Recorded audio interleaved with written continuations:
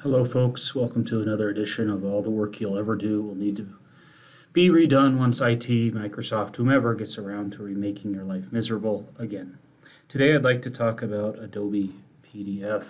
Uh, Adobe has uh, Acrobat and Pro and its PDF readers, etc. And one thing that I find especially annoying is that if I were to go to save this, it's going to pull up its own Save As window. The reason why they do that is they're wanting you to use their cloud storage or uh, some of their other programs. Um, and this view is especially annoying because, say, I want to save this uh, PDF in the file adjacent to this one right here. Well, that's somewhat problematic because if I click choose a different folder, it pulls up the regular Save As window, which is what I wanted to begin with, but you'll notice it defaults to taking you all the way back to my documents. And so now I have to navigate all the way through my documents to find the folder where this was originally stored and then bump it up one folder to the to get to something adjacent. So I find this especially annoying.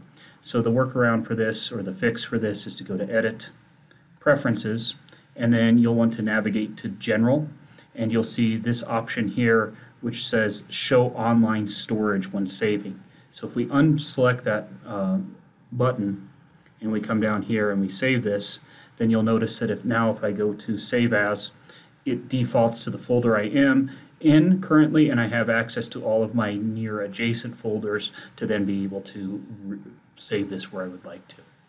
Anyway, folks, uh, this wasn't a big fix, but I hope this made your life a little bit easier.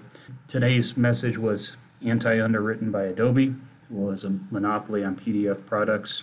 You still don't make a decent stylus PDF markup program, which I find fairly annoying since most people are using PDF markups for taking notes these days. If you like, send me $175, which is equivalent to the amount of time I've wasted adjusting your settings and preferences over the years, and I'll definitely remove this message from my video. Thanks, folks. Have a great day.